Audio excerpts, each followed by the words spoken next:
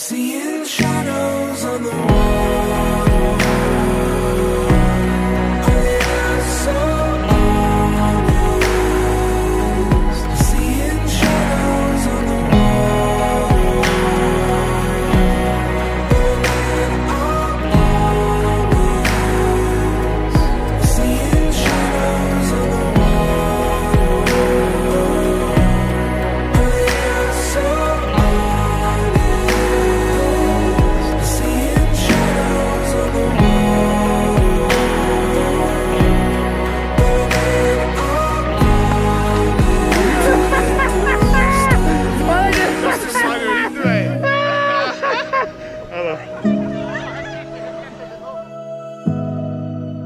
to let the rest of our lives decide.